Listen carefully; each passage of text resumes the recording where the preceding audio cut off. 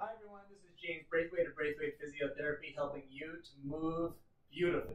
Today we're going to talk about how is it that you integrate exercise into your rehab after certain types of neck injuries. And specifically, I'm not talking about nerve injuries or anything where you do you get a neck thing and you got the tingly stuff down your arm. None of that. We're not dealing with that today. What we're dealing with is the type of injury where maybe you've had a whiplash injury or you've been playing sports and you've had your clock cleaned or something like that and then you get that sensation like you've got a really heavy head, or sometimes people describe it as like a bowling ball on a popsicle stick, like that type of sensation where you're having a hard time. It's a pretty good head movement, right? You're having a hard time stabilizing your head on your neck and everything's heavy and tired and etc. and etc. This can happen at your neck, it can happen at any joint. If you do a shoulder injury, often you'll feel like you don't have the strength to move your shoulder around, or you do a knee injury and maybe you feel like you're not stable through your knee anymore because there's no not the right type of muscular support there. This is that but applied to the neck. Okay, so what we're gonna do is we're gonna start with a simple exercise that deals with stabilizing first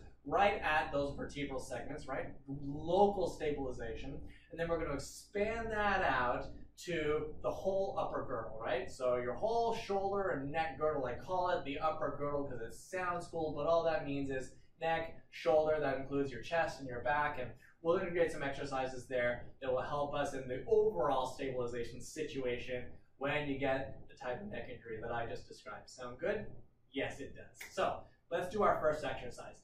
I'm gonna I'm gonna come over onto the table over here. So we're gonna switch positions. Camera over there. I'm gonna be over here. This is gonna be magnificent. All right. So I'm gonna get down on my table right now. Here's how I would recommend you try this at home. You're gonna grab a cloth. Right. This is a cloth. I'm gonna roll it up thusly. Wonderful. Now what I'm gonna do is I'm gonna get my cloth underneath the base of my skull, just like so.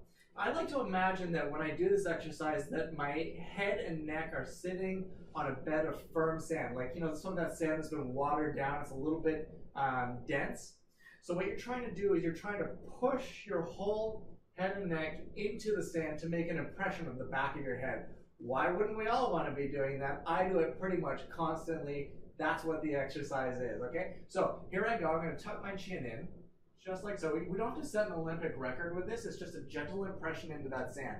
I put the roll here so that I can feel a little bit of feedback. I can feel the cloth pushing into that base of my skull, top of my neck um, uh, uh, position. So, or part of my body position, part of my body, whatever it is, I can feel it. So here I go. I can hold it for 10 seconds. Again, I'm 6 out of 10 intensity, not 12 out of 10 intensity, and then I release, right? If I can do that comfortably, then I can try that exact same movement from standing up position. Just that same chin tuck, imagining that I'm trying to make an impression of my head and neck into a uh, some wet sand, some cement, whatever it is. Hold it for 10 seconds and release. 10 repetitions of that. If I want to get fancier, I can come into a bird dog position or even a push-up position if I really want to impress everyone. And then I can do the same exercise, tucking in, making an impression of the back of my head and neck against some imaginary sand. The reason that we do it from this sort of plank or push-up or bird dog type position is that um, it allows us to add the weight of gravity to the exercise. So I'm not just moving my head, I'm now moving it against gravity when I'm in this planking position, right? So from this position, it becomes even more challenging and therefore awesome. So once you've nailed that, like if you do that exercise, if you've got that heavy head on neck type sensation, doing that exercise for a week to two weeks, you should be noticing some marked improvement in your sensation of stability. Like that heavy head sensation should be notably reduced. Now, once you're in that spot, what you're going to do is you're going to start to integrate that same positioning into shoulder girdle exercises. So I like to choose pushing exercises and pulling exercises because those are things that we do with our shoulder girdle, right? So here I am. I'm going to use the example of a TRX row. This is my TRX. You've probably seen them at your gym. It does not have to be a TRX row. You could choose many other pulling exercises. We're just using this as an example. If you're not sure how to apply that to your own workout, talk to your physiotherapist. That's totally what we're here for. Um, here I am. Going to start with the handles on my chest wall. I'm going to walk my feet forward to create an angle, straight line between my shoulder and my ankles, and then boom, I'm tucking that chin in so that I've got a straight line, not just from my shoulder to my ankle, but from the top of my head to my ankle as well. So it's one giant straight line. I'm not here, not here, I'm here. Beautiful, this is magnificent. Now I can start to do my row and maintain that chin tuck all at the same time.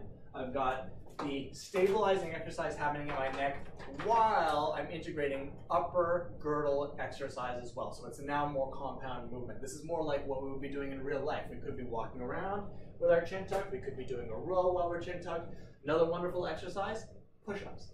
So I'm getting back into that plank position, the one from where I was doing the chin tuck earlier. Now I'm gonna tuck in and I'm gonna do my sets of push-ups, just like this. Three sets of 10, just like I would be doing on any regular strength training protocol, except now I'm really focusing on having that neck stabilized while I execute. Outstanding. So if this is you, if this is your type of situation where you've had that injury that make that gives that leaves you with that heavy head on neck type sensation, start with a simple neck stabilizing exercise. Change the position, go from lying down to sitting up, and then finally into plank or push-up positions and then start integrating it into regular upper girdle strength training exercise. We use the example of the row and the push-up. Other options are available. You can talk to your physiotherapist about that. If you have questions about this or anything else physiotherapy related, please come in and talk to us here at Braithwaite Physiotherapy. We're here to help you move beautifully. Have a great day.